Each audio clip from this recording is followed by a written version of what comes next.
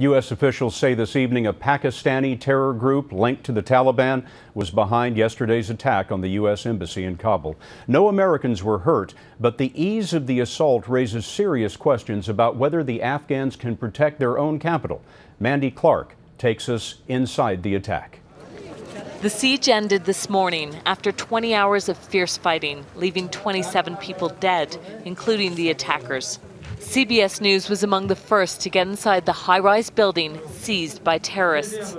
Police who had swarmed into the area showed off the bodies of the militants like trophies. But just a few hours later, at the scene of the original attack, security had largely evaporated. There's only a handful of police now protecting the site, but yesterday gunmen only had to get through this gate before they took the building and effectively took the city hostage.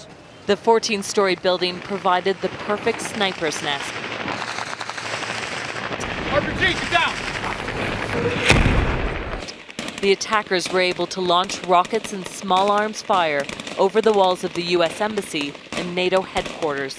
Afghan forces, now in charge of security in Kabul, were in the lead during the counterattack, but they did have help from U.S. helicopters.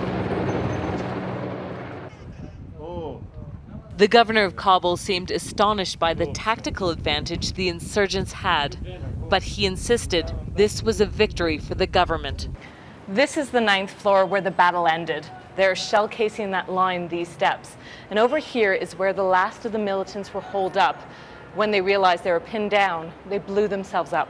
The Afghan government may try to spin this as a success story, but on the streets of Kabul, claims of security are growing harder to believe. Mandy Clark, CBS News, Kabul.